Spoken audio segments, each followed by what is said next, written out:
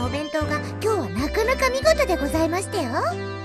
品数がいっぱいで豪華豪華なのです。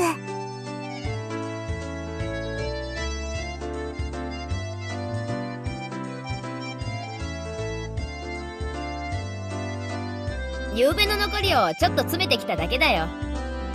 うちで昨日村長たちが酒盛りしててさ。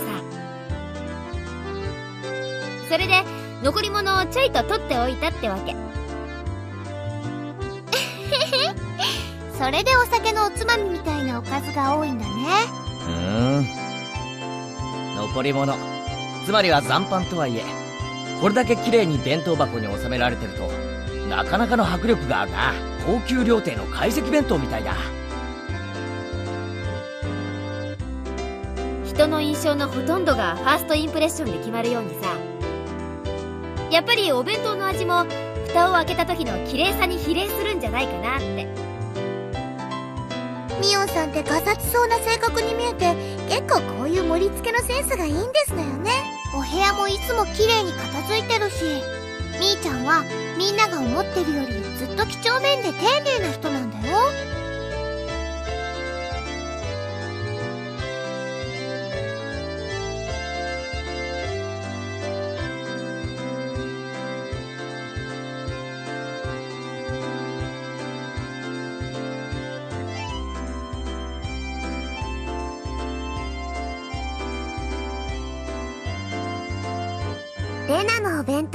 見劣らないのです。カニかまぼこのお花がとても綺麗なのですよ。レナの弁当ってなんていうかいつも芸が凝ってるよな。リンゴのうさぎさんとか人参の花びらとかさ。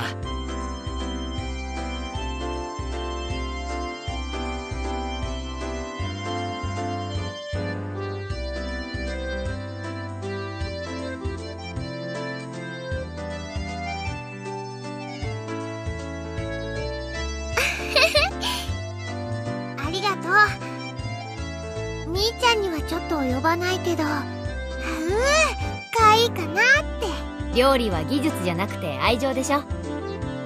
その意味でだったら私なんか足元にも及ばないって。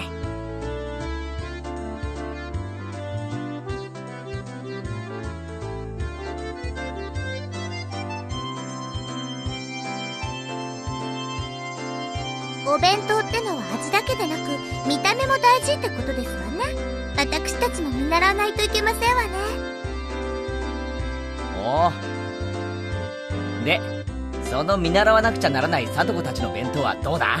お！じゃーん。昨日ご近所さんにお裾分けのお肉をもらったので今日は焼肉弁当なんでし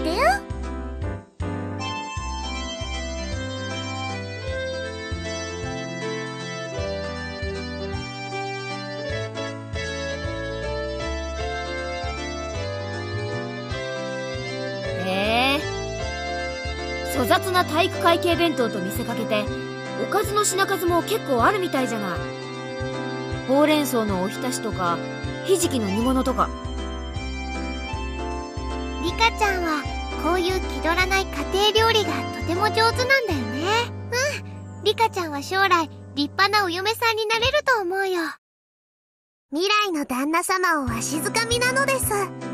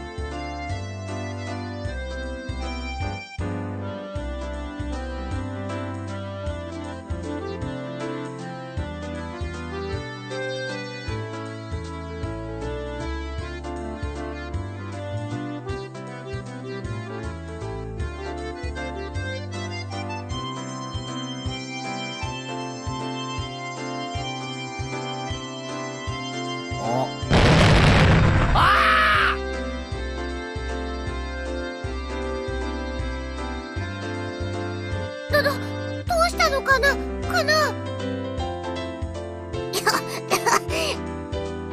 急に大声を出すからむせてしまいましたですわ。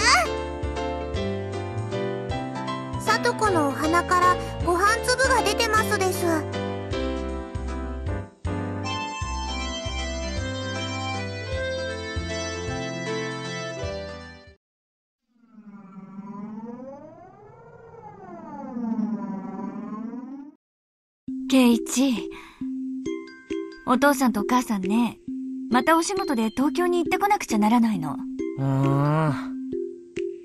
そう。はあ、眠。お父さんの先生にあたる人がねイベントの直前で倒れちゃったのとても大切なイベントなんでねどうしても穴が開けられないのよ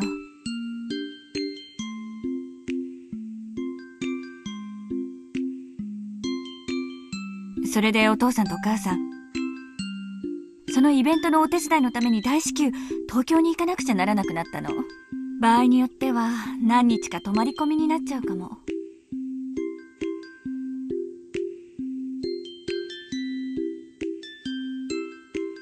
その間お母さんたちいないからご飯とかみんな圭一が自炊しなくちゃならないんだけど圭一は大丈夫？大丈夫大丈夫。人間、追い詰められたら何でもできるんだから。そう？なら安心ね。ご飯くらいは炊けるでしょ。お味噌汁も作れるわよね。あとは適当にお惣菜を買ってくればご飯らしくなるから。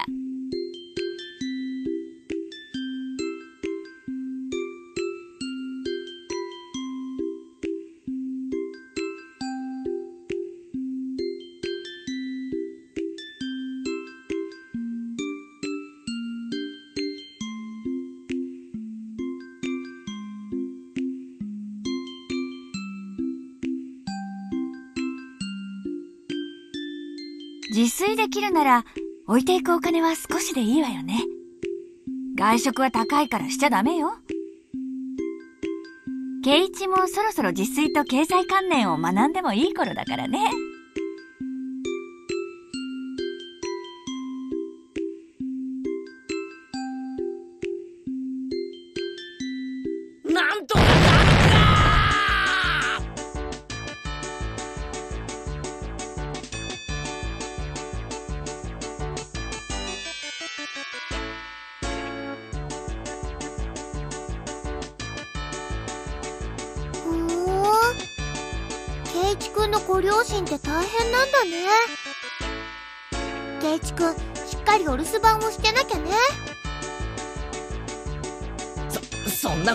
なことより飯だ飯。親がいないんだぞ。全部自分で作らなきゃならないんだぞ。これは超緊急事態だ。それなら覚悟を決めて自炊なさればいいではありませんの。圭一さん以前のカレーパーティーで見事なカレーを作ってみせたではありません？あのな。俺に作れるのはデイキャンプでおふくろに教えてもらったカレーがせいぜいなんだよ。3食カレーなんか食えるかよ。カレーなんて所詮はジャンクフード。栄養バランスなんてかけらもない。実にいい加減な。うん。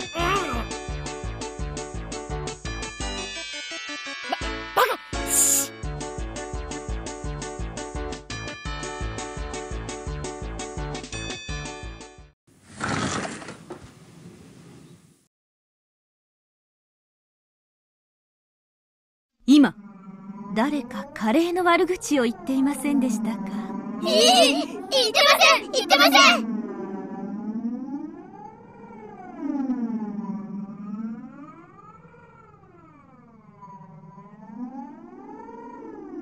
そうですか。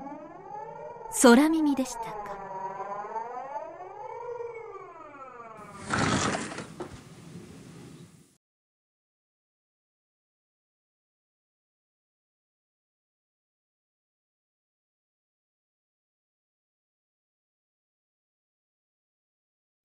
ケイちゃん。他の食べ物はいくらこき下ろしてもいいけどカレーだけはやめた方がいいよ。ひなみ沢に住んでいるうちは。うすまん。反省します。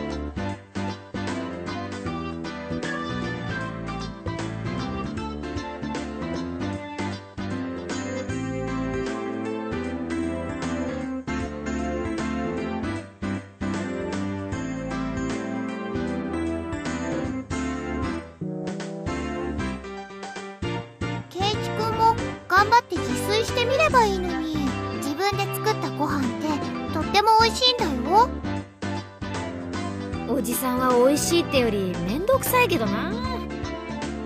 でもたまにはそういう経験もいいかもね。そうそう。人生何事も経験でございましたよ。お指を切ったりやけどをしたりでかわいそかわいそなのです。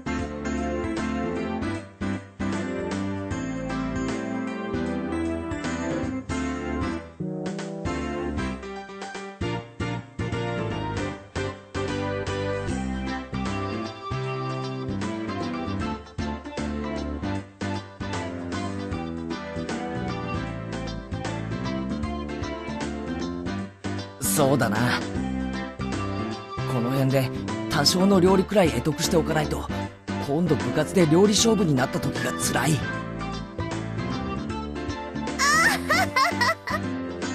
そうですわね。いつぞやのカレー勝負のような奇策は何度も通用しませんでございますしね。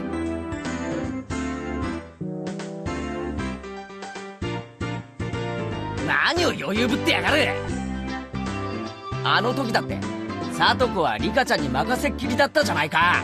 あの時サトコがした料理は何だ？レナのカレーに塩を一袋入れてミオンのご飯に塩を一袋入れて俺の鍋をひっくり返しやがって！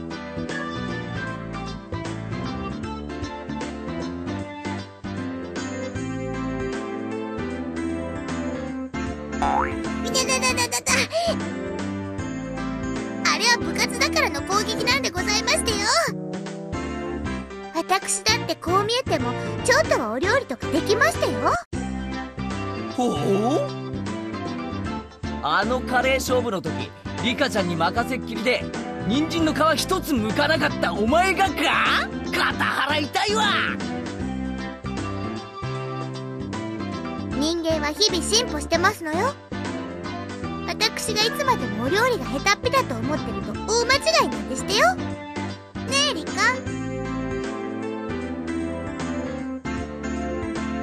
僕が見てないとお鍋とか火元とか不安なのです。たまにガスの元栓も閉め忘れてるのです。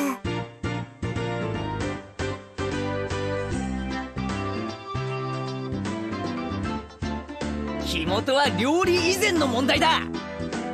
いくら俺でもそれだけはない。カップラーメンばかり食べてる人に言われたくありませんわ。でもでもさとこちゃんもそこそこにはお料理とかできるんだよ。いいぞレナ。こんな奴のためにわざわざフォローなんかしてやることはないんだぞ。いや別にフォローってわけじゃないよ。リカちゃんがずば抜けて料理がうまいから目立たないだけでささとこちゃんだってまあ基本くらいはマスターしてるよ。ね。少なくともご飯とお味噌汁くらいは作れますわ。うーんカリフラワーとブロッコリーの見分けはつかないけど。ね。どどっちも茹でれば食べられるの同じですわ。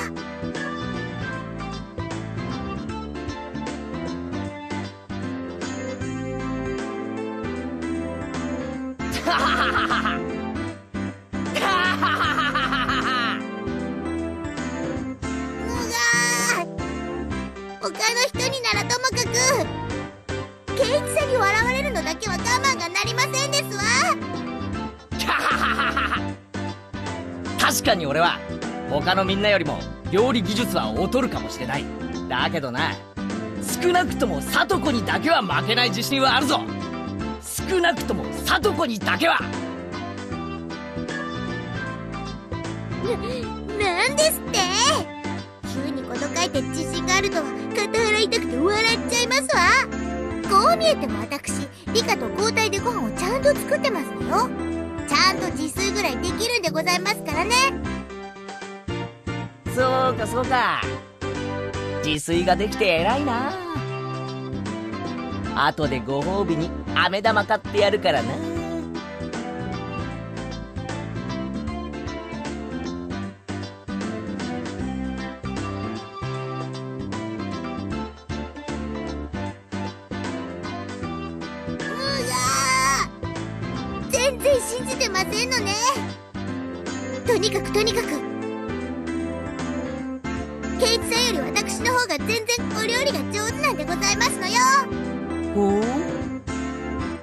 じゃあカリフラワーとブロッコリーの違いを言えたら俺も信じてやるぞ。俺言ってみろ。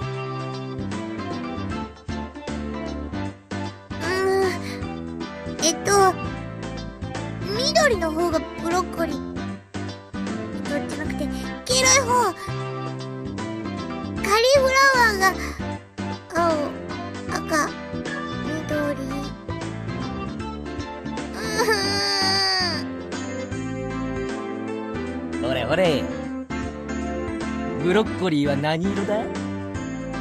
青赤緑って。テレビのブラウン管じゃあるまいし。ほれほれ言ってみろ言ってみろ。別にブロッコリーが何色かわかんなくてもさとこちゃんはお料理ができるんでちゅよね。えらいえらいでちゅよ。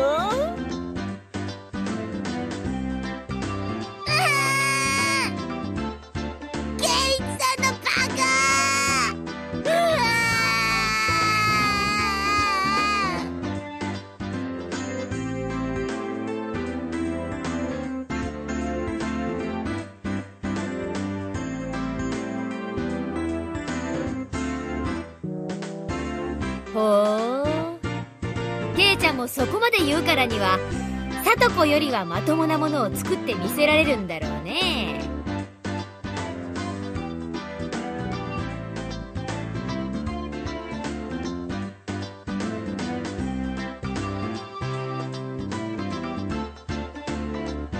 まあ見ていろ。おや俺はバッチリガッチリ見事な晩飯を作ってみせる。少し余計に作って明日の弁当にしてくるからそれを見て腰を抜かすがいい！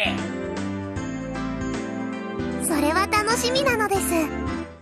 明日のお弁当が待ち遠しいのですよ。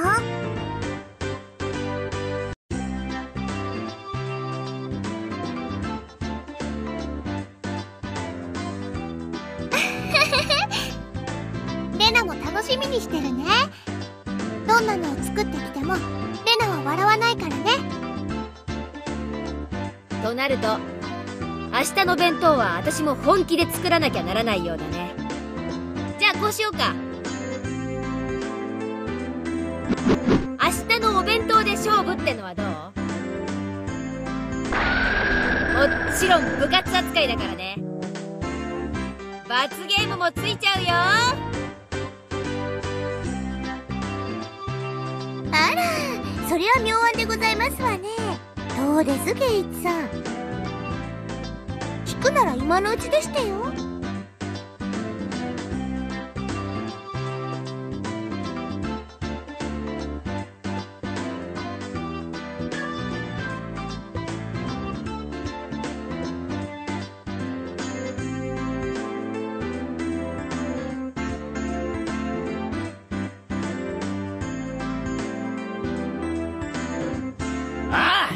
上等だぜ。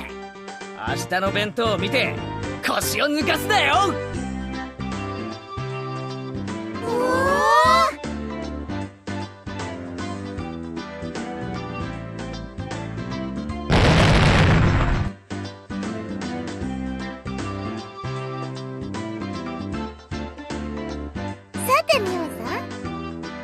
ビリになったらどんな素敵な罰ゲームになってしまうんですの？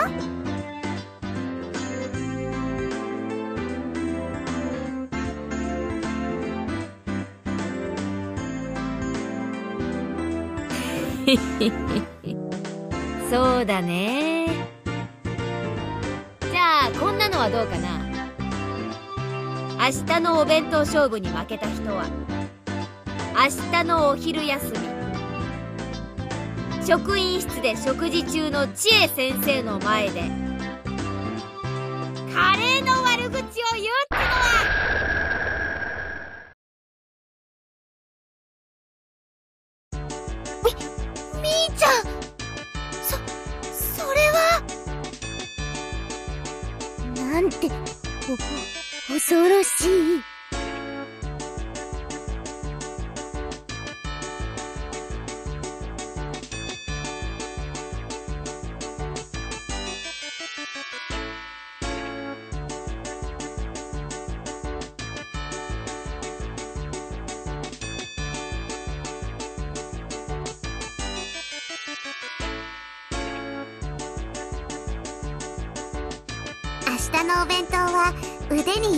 けますです。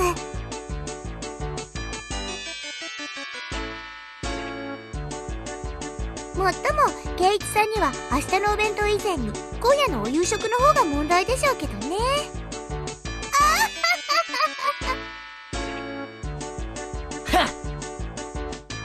俺が今夜どんな素晴らしいディナーになるか。見ることができなくて残念だな。明日の弁当でその片鱗をほんの少しだけ見せてやるから楽しみにしていろよ。あれだけの大見えを切ったんですのよ。これでとんでもないのを作っちゃったらどうなるか分かってるんでございましょうね。さとここそ明日知恵先生にどんな恐ろしい目に遭わされるか今から楽しみで仕方ないだろう。ええ楽しみでしたよ。明日圭一さんはきっと土下座してそれだけはどうかご勘弁をって泣きながら言うんでしたよ。ああ目に浮かぶようですわ。にゃ何を？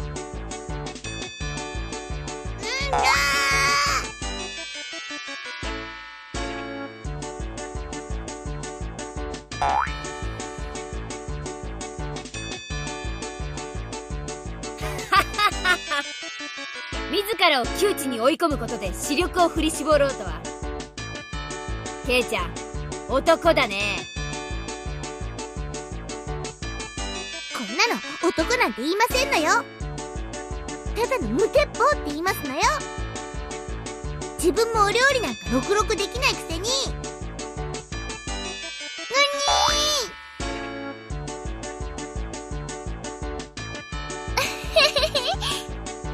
レナは信じてるからね。素敵なお弁当楽しみにしてるよ。僕も明日の圭一がとても楽しみなのですよ。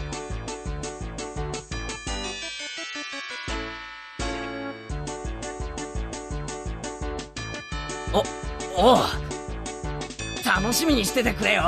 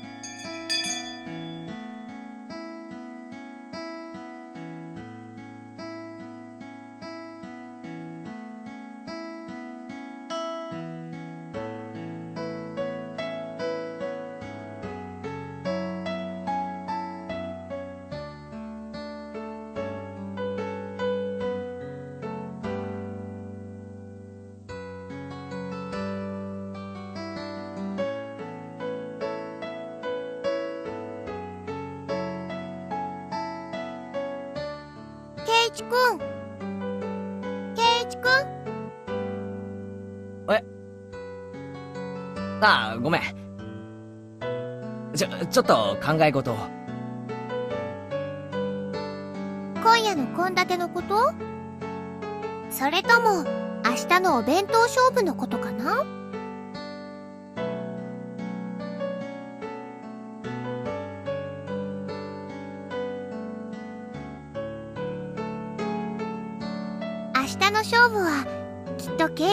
頑張ってお弁当を作ってこれたら、それで大丈夫だと思うよ。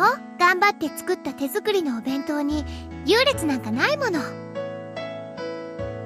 明日の勝負以前に、今夜の晩飯だよ。食中毒で、ばったり行くかもしれない。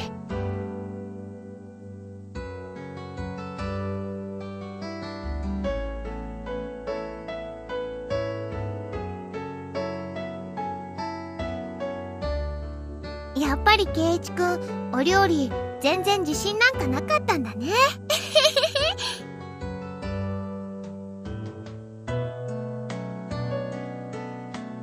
もしも、圭一くんがどんなに頑張っても無理そうだったら、レナに電話してもいいからね。ほ、本当か？圭一くんがちゃんと頑張ったら、だよ。何も苦労しないで人に頼ろうとしちゃダメなんだから。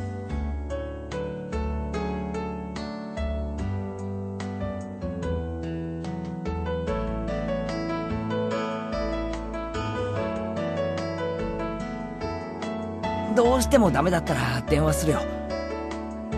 その確率は、極めて高いが。ファイト、オーだよ。さとこちゃんにあれだけ大見えを切ったんだから、頑張らなきゃ。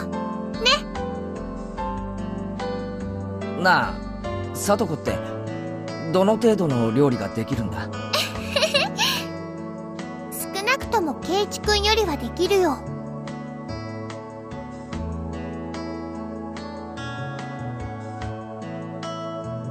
ちゃんをあれだけいじめたんだから、圭一くんはちょっぴり苦労をしてもいいかも。ね。レナって、結構意地悪なのな。レナは可愛いだけじゃ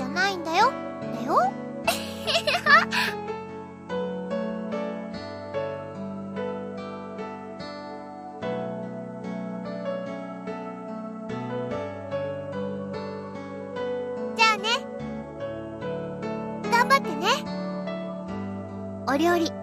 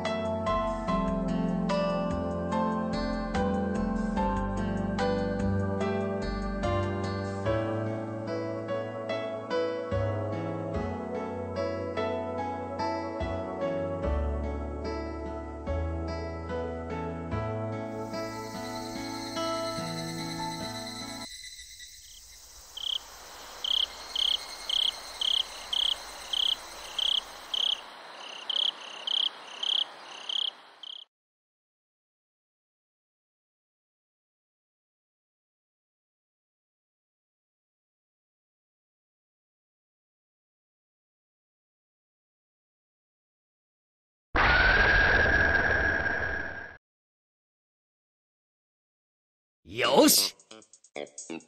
いざ料理。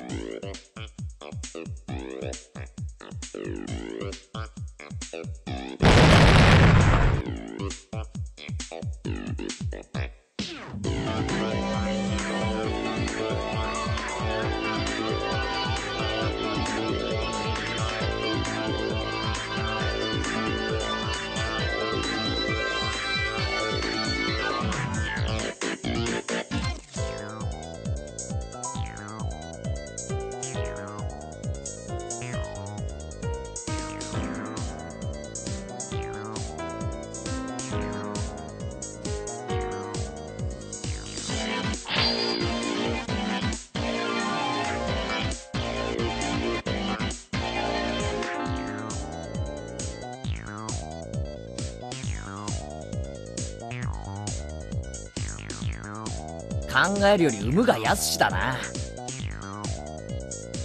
お料理の本さえあれば誰だってシェフの味が出せるじゃんよ。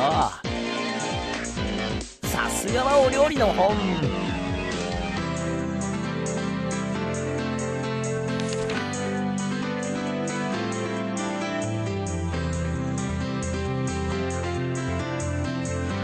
お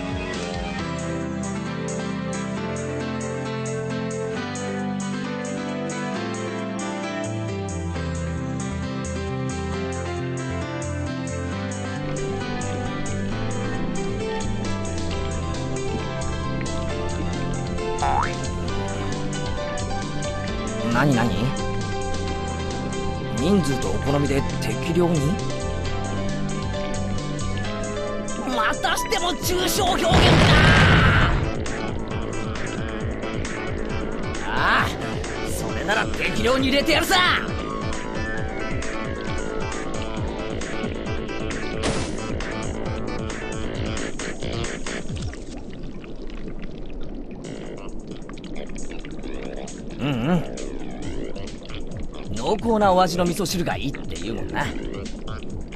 そういえばお袋の味噌汁は少し薄すぎる気がしてたんだ。俺にはこれくらい入れた方が合うかもしれない。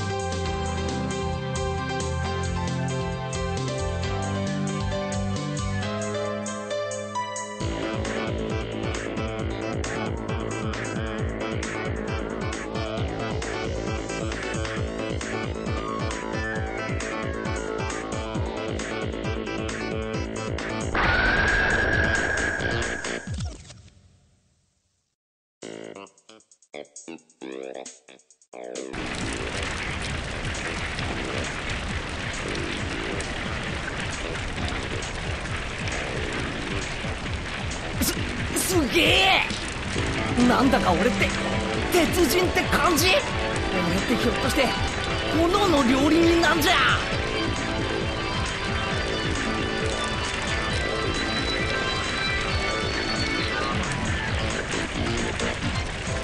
い や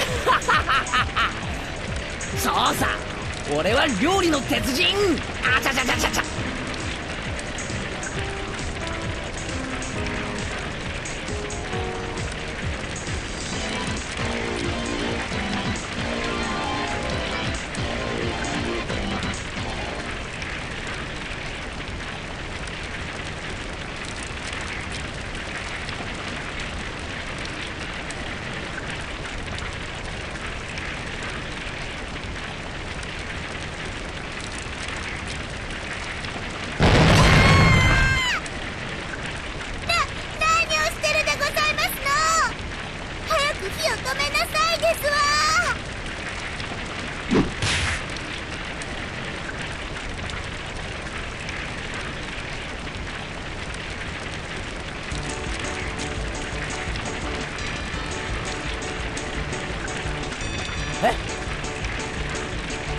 さと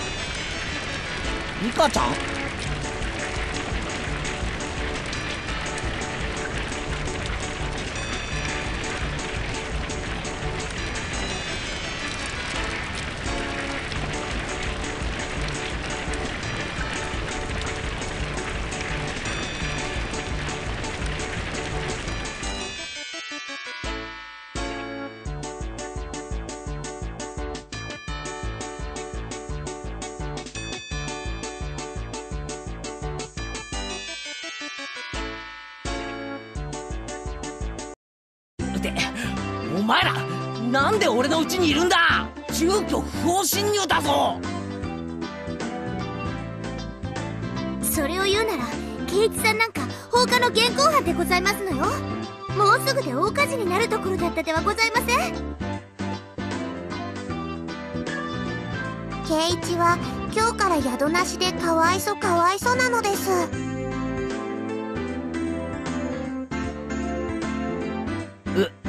いややっぱりあれは火事になりかけて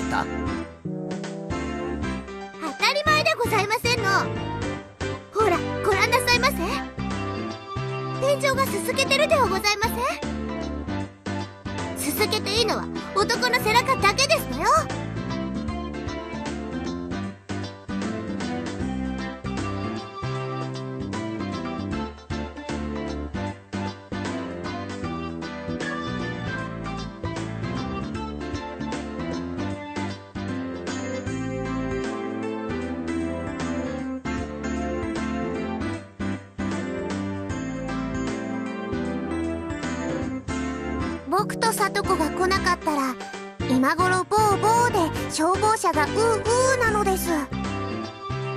圭一さんそろそろ事の重大さが飲み込めまして。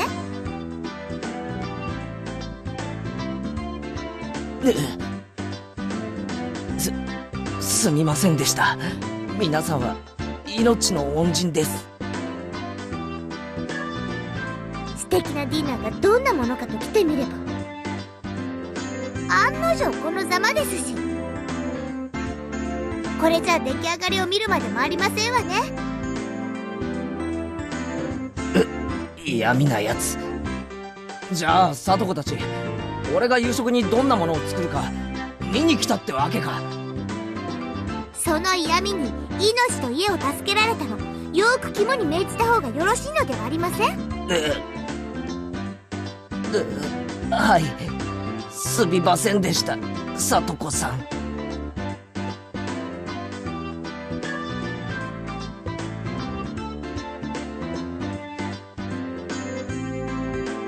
カレーの時は結構頑張ってましたのにあの時の圭一さんはどこに行ってしまいましたの？まったく。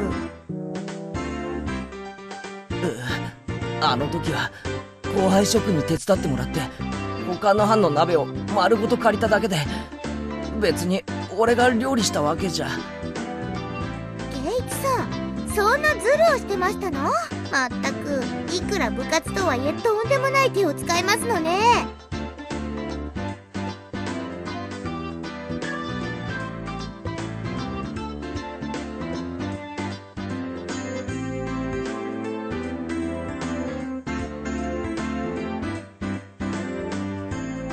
ころで圭一さん？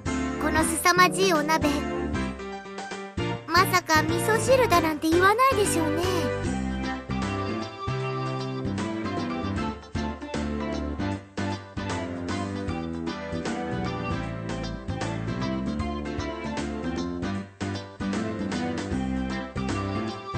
み味噌汁はともかくごご飯はうまく炊けたはずだ。最近の炊飯器は便利だからな。きっとそろそろ炊けてる頃だ。みー炊けてないです。ほらまだ中身も全然お水なのですよ。え？あれ？だってちゃんとスイッチを入れたらランプが点灯して。圭一さんあなたが押したボタンボタンですのよ。朝食用にセットしてあるから電源が入るのは明日の早朝でしたよ。ってことは何か？俺は結局おかずはもとより味噌汁もご飯すらも何も自炊できなかったってことか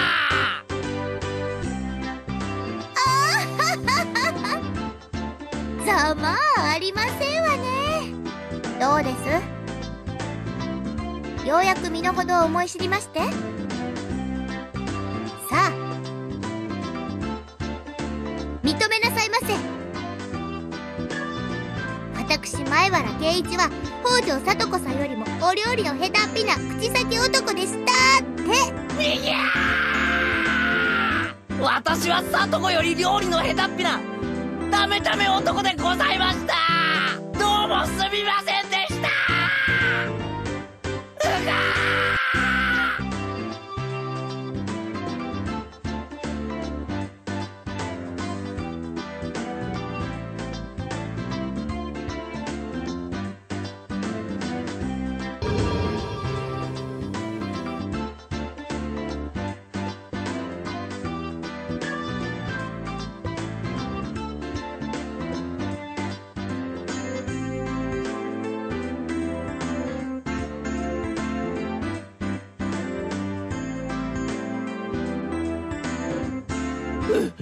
飢え死にだ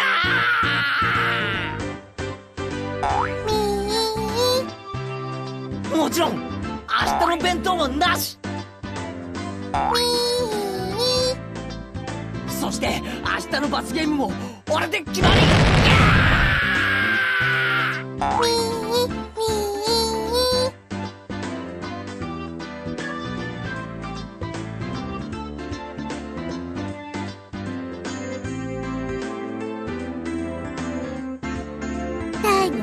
情けないったらありゃしませんのね。ほら。おどき遊ばせ。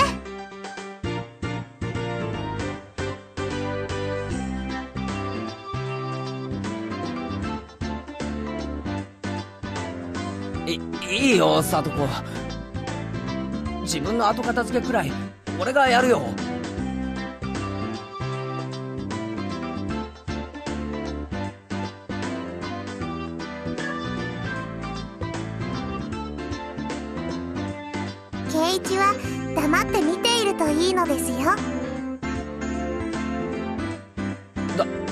って見てろって。何言ってるんだリカちゃん。まあそういうことですわね。圭一さんは黙って私に任せればいいんですのよ。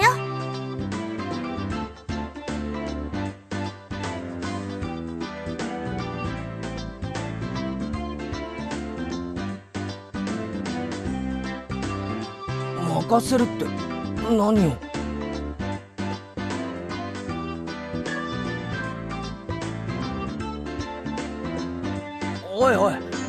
まりいじり回すなよ。ひっくり返したりしたら俺が後でおふくろに怒られるんだからな。うるさい男ですわね。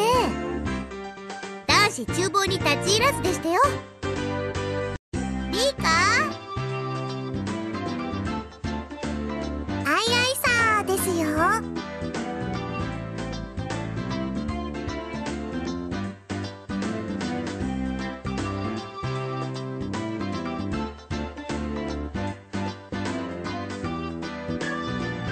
おいおいリカちゃんもう話してくれよ聡子に任せたら台所が大変なことに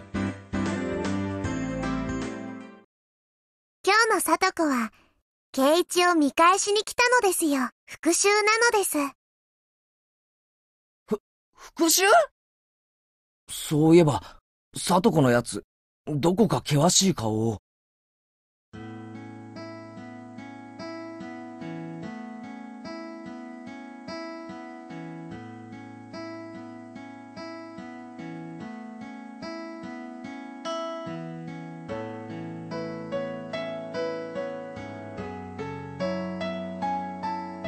圭一にいっぱいいっぱいバカにされましたですから、聡子は自分にもお料理がちゃんとできるところを圭一に見せたかったのですよ。こうして音だけ聞いてる限りでは、お皿を落とす音も、破裂音も爆発音も聞こえてこないな。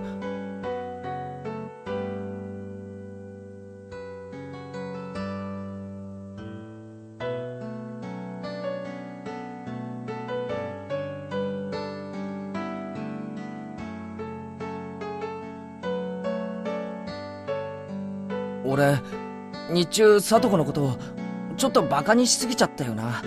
ひょっとして、それで根に持たれた？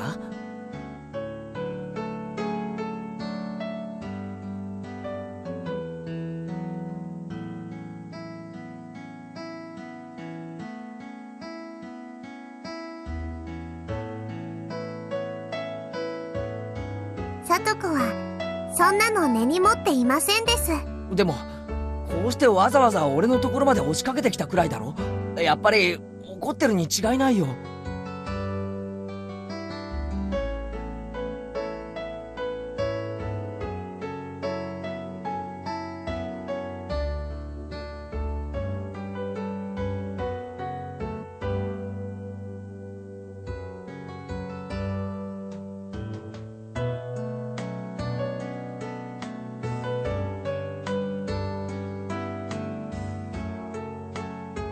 怒ってる。やっぱり怒ってる。ああ俺はどんな復讐をされるんだろう。ああ。聡子は失敗したくないから真剣なだけなのです。怒ってなんかいないのですよ。あれのどこが怒ってないって言うんだよ。あんなおっかなそうな聡子初めて見たよ圭一さん、ちょっと聞こえてますの？は、は、はい！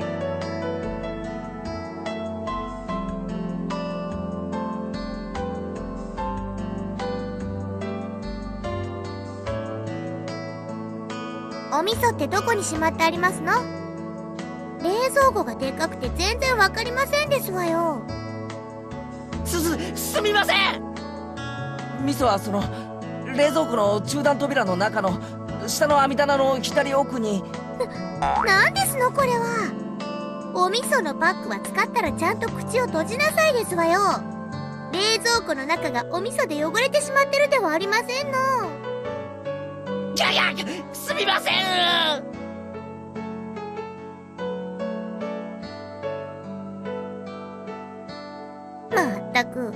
男の人ってのはどうしてこう後片付けがずさんなんでございますの？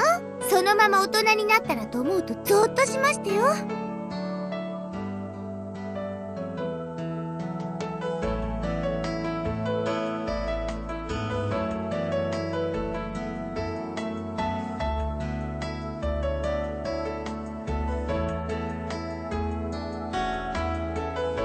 お味噌汁の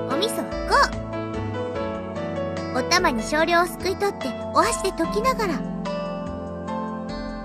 少しずつ加えて味見をしながら慎重にですの。よ丸ごとひねり出してお鍋に開けちゃうなんて言語道断でしたよ。ああすみません。家庭科の授業は真面目にやってませんでした。情けない。まったく。これだから男の人は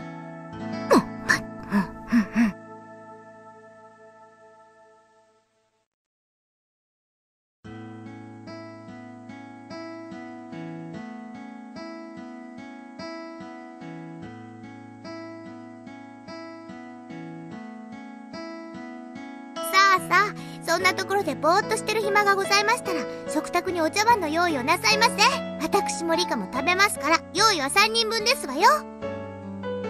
あはいはい。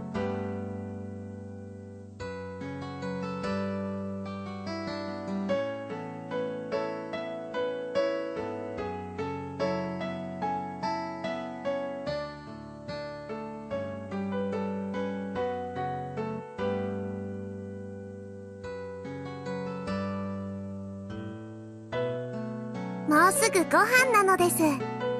圭一のうちでご飯なのです。リパーリカちゃんは上機嫌みたいだな。サトコの不機嫌とはえらい違いだ。さとこは全然不機嫌じゃないです。久しぶりにとても楽しそうなのですよ。楽しそう？あれがか？さとこがニーニーと一緒だった頃みたいです。こんなに楽しそうなさとこを見るのは本当に久しぶりなのですよ。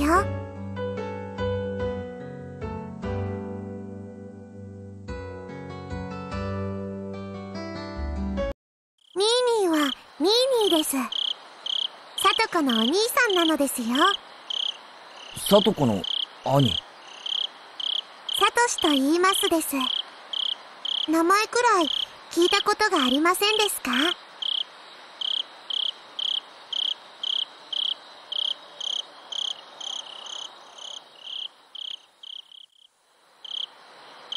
サトシっていうのか？サトコの兄貴は？ふん初めて聞いたな。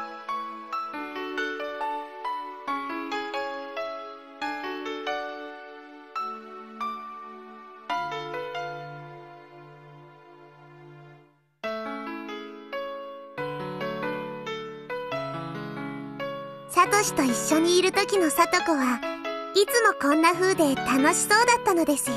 本当に久しぶりにこんな楽しそうなサトコを見ますのです。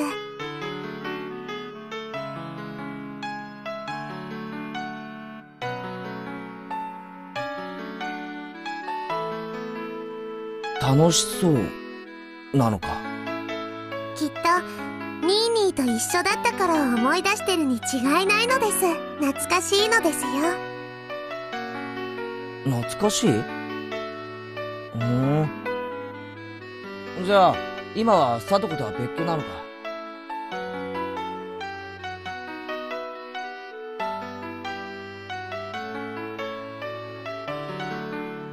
サトコはそのサトシって兄と仲は良かったみたいだな。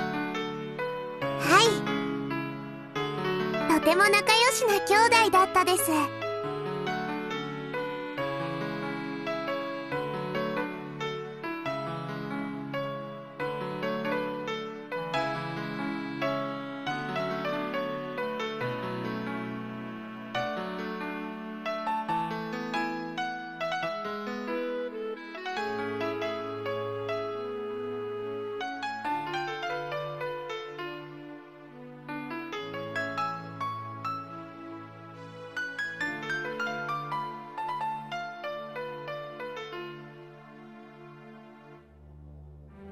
いつもあんな感じでサトシに小言を言いながらだけどしっかりと支えながら仲良く生活してたんだな。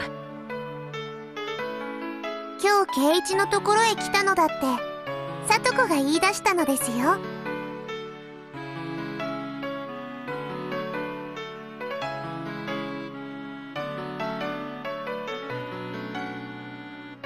じゃあ別に復讐とか見返すとかそういう意味で来たんじゃなかったのか。放っておけなかったのですよ。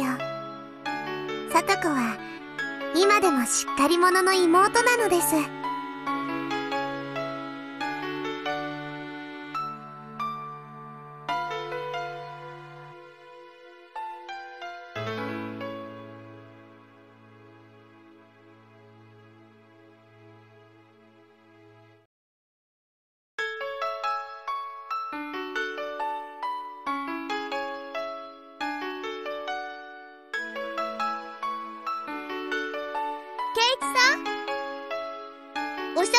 どこにあるかわかりませんでしたよ。ああ、ごめんごめん。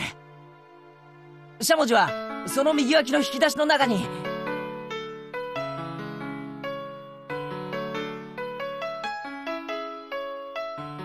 さあ、出来上がりでしたよ。もうお茶碗とかは準備できてますの？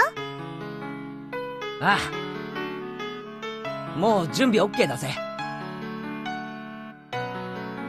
ご飯にしましょうですわね。リカお夕飯ですわよ。みー。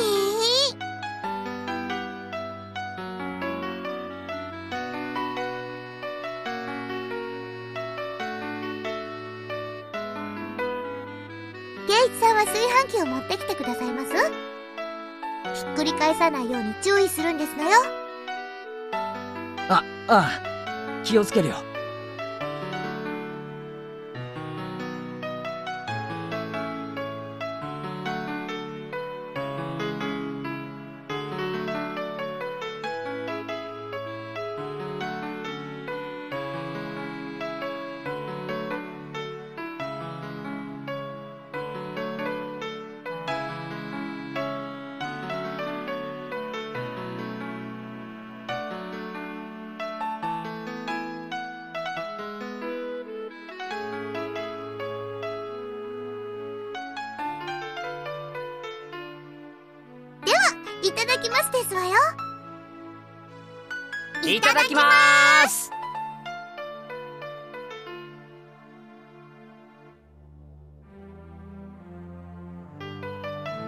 俺、里子のことを侮ってたよ。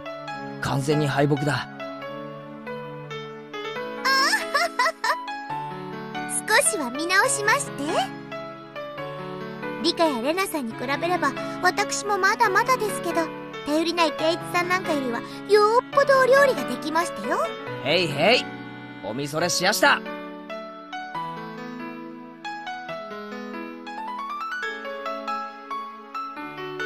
うん、うん、うん。お、ご飯、いい感じで炊き上がってるな。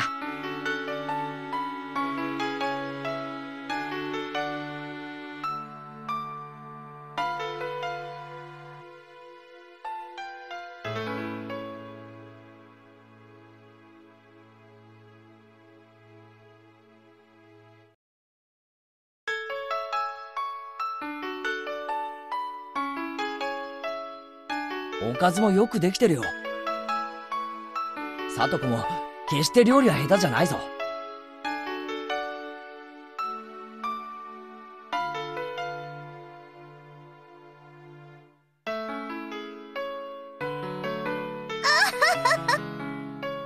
褒められるのは光栄ですけど、そんなに立派ではありませんのよ。おかずはお惣菜屋さんで買ったものを温めただけですし。これとこれは缶詰を開けただけですし。自分でちゃんと作ったのは、ご飯と味噌汁だけなんですのよ。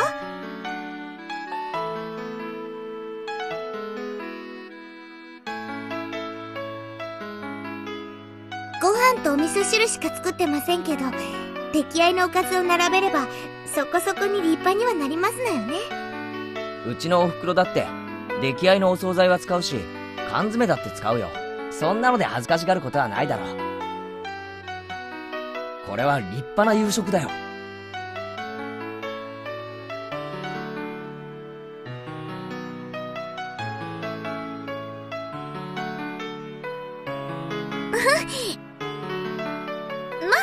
私にもそこそこのお料理ができることが分かっていた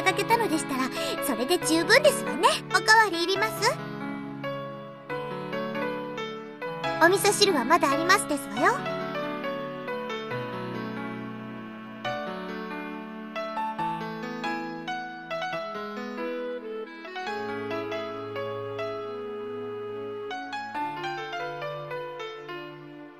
こうしてご飯を食べてると、サトシと一緒にご飯を食べてるみたいで楽しいのです。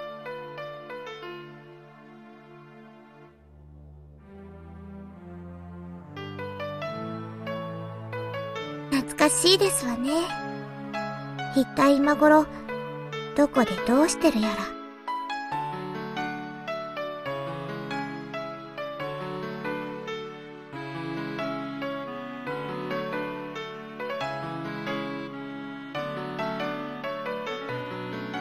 あ申し訳ないですわね。サトシっていうのは、私の兄に、じゃなくて、えっと、兄なのですのよ。あ、うん。そうなんだ。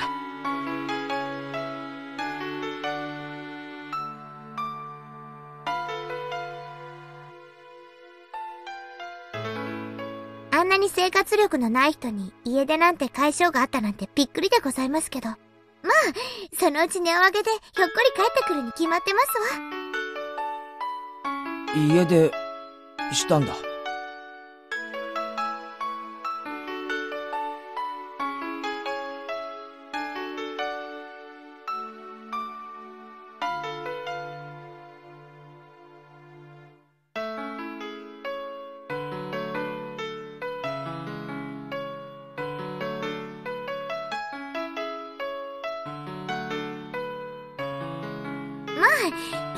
一人暮らしに憧れるなんて年頃らしい夢ではありませんの。どうせニーニーには長続きするはずもありませんけどね。ご来性のない人ですから。サトシはああ見えても、とても我慢強い人なのですよ。サトコが思ってるよりも、ずっと我慢強いのです。リカはすぐ、ニーニーの肩を持ちますのね。リカはちょっと甘やかしすぎですのよ。サトコはニーニーに厳しすぎるのです。帰ってきたら、もっと優しくしてあげた方が良いのです。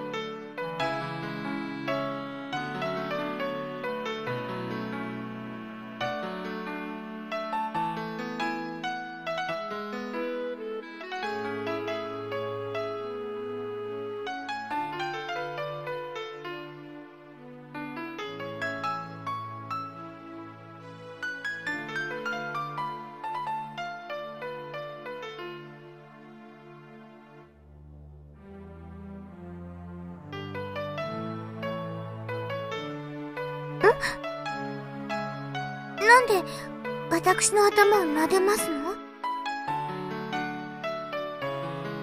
俺、サトコのことを誤解してたよ。お前がこんなにしっかり者だなんて思わなかった。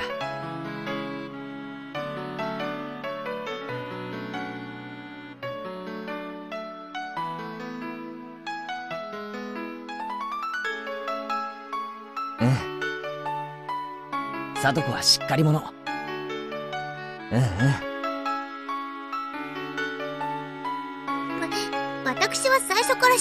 でしたよ。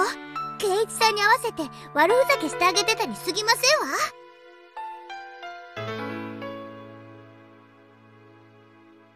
そうだな。俺に合わせて、ふざけてただけなんだよな。でも本当は、こんなにもしっかり者。偉い偉い。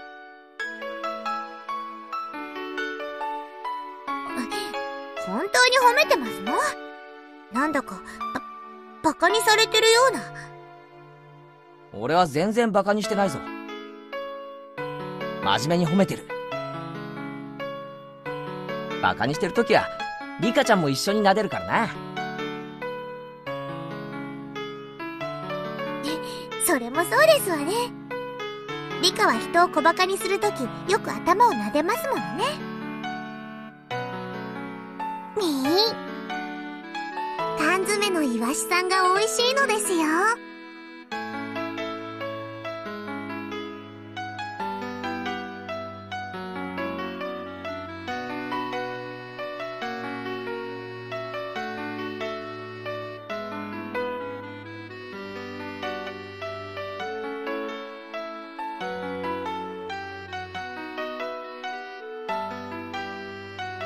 笑いながら食べる食事って、美味しいよな。も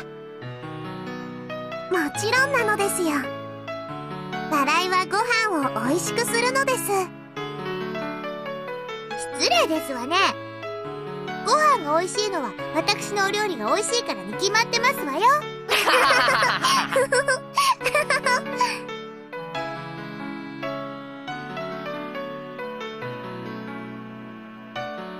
さとこはニーニーに会いたいか？ニーニーなんて言ってませんですわ。兄とお呼びなさいですわ。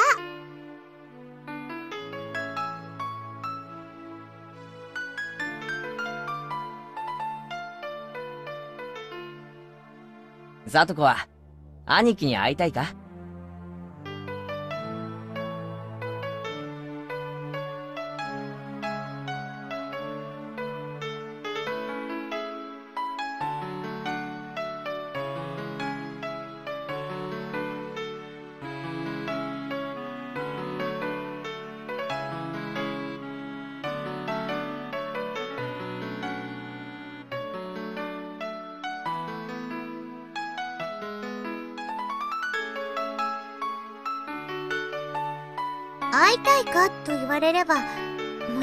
たいに決まってますわね。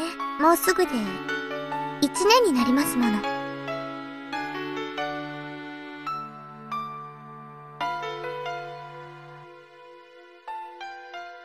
あニーニーの好きにすればいいのですわ少しでも生活力を身につけてたくましくなって帰ってきてくれれば私の負担も軽くなるわけですし。ほら。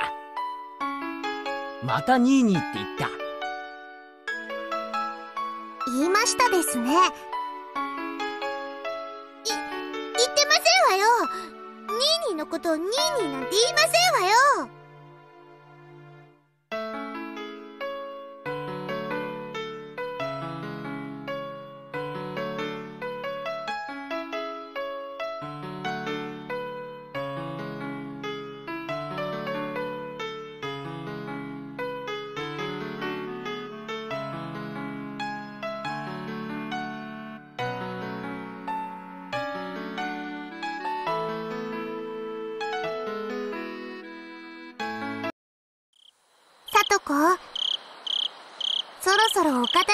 しないとお眠になる時間なのです。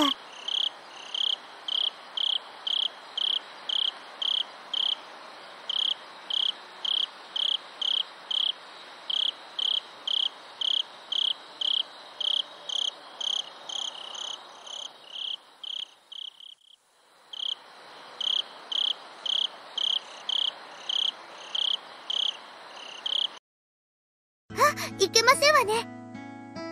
まだ食器を洗っていませんでしたわ。いいよそんなのそれくらい俺がやっておくよ飯をごちそうになって食器まで洗わせるわけにはいかないよ本当に大丈夫ですの？慣れない人が洗うと、お皿とか洗剤で滑って落としちゃいますわよ。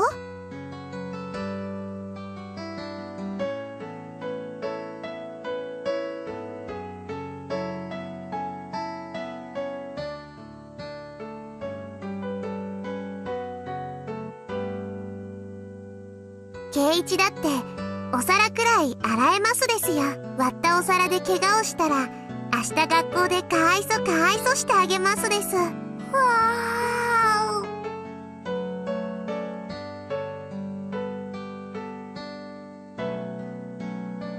本当に大丈夫ですの？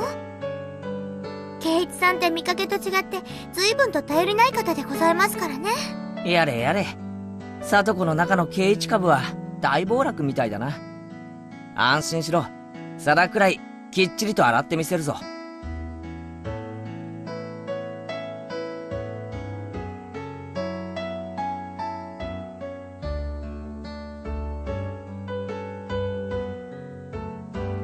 安心して帰れ。っ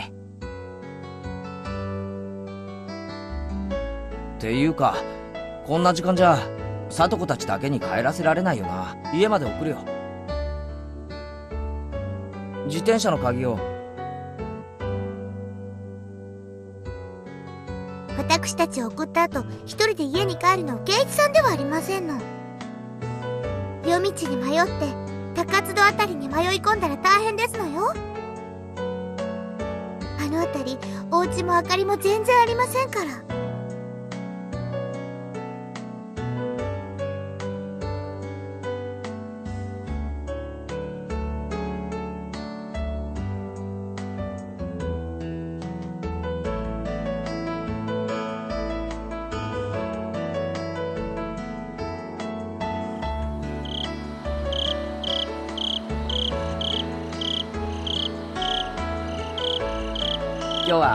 当にありがとうな。おかげでとても文化的な夕飯にありつけたよ。聡子が来なかったら今頃圭一はグーグーでニャーニャーだったのです本当ですわね。本当来てよかったですわ。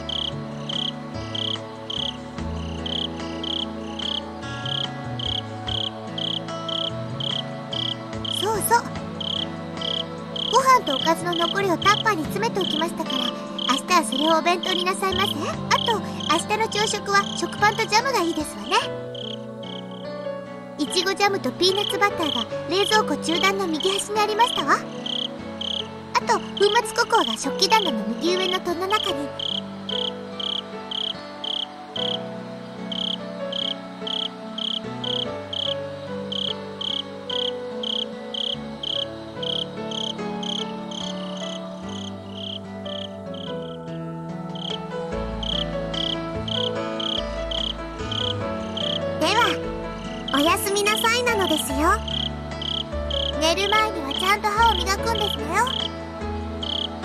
以上かけてしっかりと磨きなさいませ。分かったよさと子。ちゃんと歯も磨くし明日の朝飯も用意する。弁当も忘れないようにするよ。いつもより早めに起きないと朝食やお弁当の支度ができませんわよ。なんなら少し早いくらいの時間に目覚まし代わりに電話して差し上げましょうか？そこまでしてくれなくても大丈夫だよ。目覚まし時計を少し早めにセットしておくことにする。ありがとな。色々と気にしてくれて。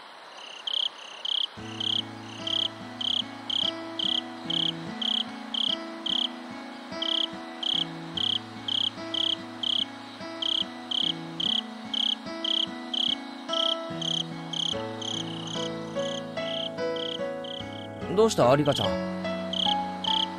忘れ物か？今日の圭一は100点満点でした。パチパチパチなのです。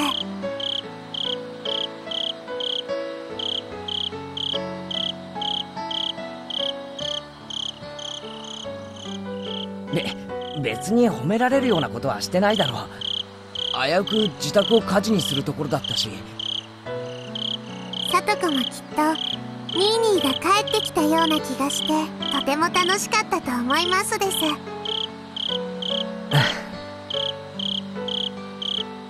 たまに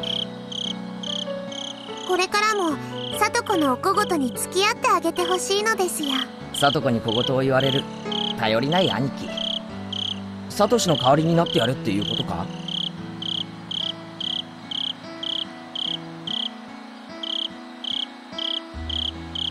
サトシってさこんなにもできた妹と一緒で何が不満だったんだ？俺がサトシだったら絶対に家出なんかしないぞ。サトシにはサトシなりの事情があったのですきっと。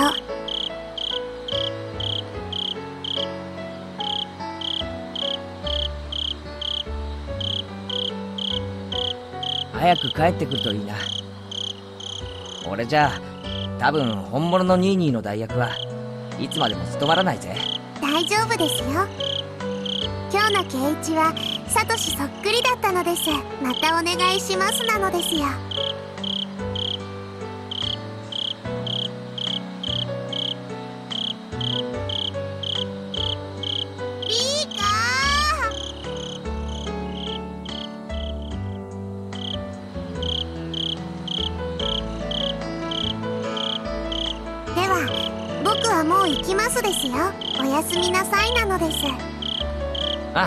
やすみ。僕ではサトシの代わりをできませんが圭一ならできます。これで僕も心の荷が一つ下りましたのですよ。